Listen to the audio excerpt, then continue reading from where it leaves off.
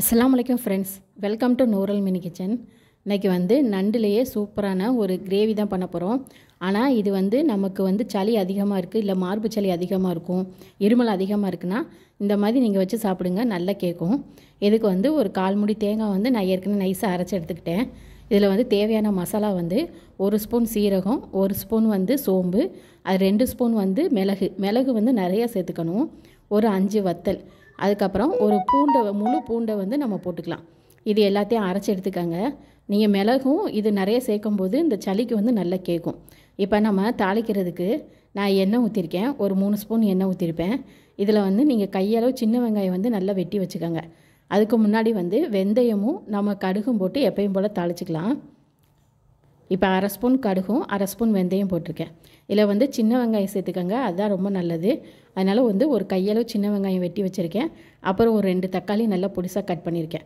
இது எல்லாத்தையும் நல்லா எண்ணெயிலே வதக்கின பிறகு ஒரு கையளவு கருவேப்பிலை. இதில் வந்து ஒரு பிஞ்சளவு மஞ்சத்தூள் போட்டிருக்கேன். இப்போ நம்ம அந்த மசாலா வந்து நல்லா நைஸாக அரைஞ்சி எடுத்துருக்கணும். இப்போ வந்து நம்ம இந்த க வெங்காயம் தக்காளி நல்லா வதங்கிடுச்சு இதில் ஒரு ஸ்பூன் வந்து மிளகாத்தூள் போட்டிருக்கேன். போட்டு நல்லா வதக்கி விட்டுக்கலாம். இந்த மசாலா வந்து நல்லா பட்டு போல் அரைச்சிருக்கணும். அப்போ தான் வந்து நல்லா டேஸ்ட்டாக இருக்கும். இப்போ இதையும் நம்ம சேர்த்துக்கலாம். இது வந்து நல்ல இருமல் அதிகமாக இருக்குது நீங்கள் எந்த மருந்து கொடுத்தாலும் கேட்கலன்னா நீங்கள் இந்த மாதிரி நண்டு வாங்கி இந்த மாதிரி செஞ்சு கொடுங்க. நல்லா டேஸ்ட்டாகவும் இருக்கும் உடம்புக்கும் நல்லது. கண்ட நண்டு வந்து நல்லா க்ளீன் பண்ணி எடுத்திருக்கேன். இப்போ வந்து நல்லா அந்த மசாலா ஊற்றி ஒரு ரெண்டு நிமிஷம் நல்லா கொதிக்கட்டும். இப்போ நல்லா கொதி வந்துருச்சு. இப்போ இதுக்கு வந்து தேவையான அளவு உப்பு வந்து முன்னாடியே போட்டுக்கோங்க. நண்டுக்கு வந்து நிறைய உப்பு போடக்கூடாது. அதனால் வந்து நண்டு கொஞ்சம் உப்பு கம்மியாக இருந்தாலும் பரவாயில்ல. போட்டுட்டு இப்போ நம்ம கழுவி வச்சுருக்க நண்டை போட்டுக்கலாம்.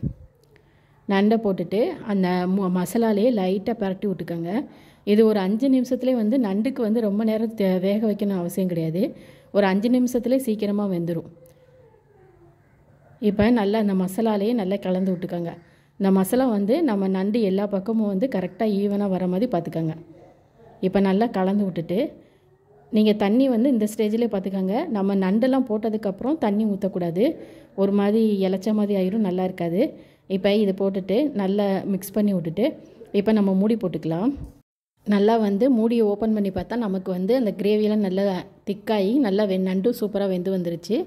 நீங்களும் இந்த மாதிரி ட்ரை பண்ணுங்கள் ஓகே ஃப்ரெண்ட்ஸ் இந்த வீடியோ பிடிச்சிருந்தா மறக்காமல் நூறு மினி கிச்சனை சப்ஸ்கிரைப் பண்ணுங்கள்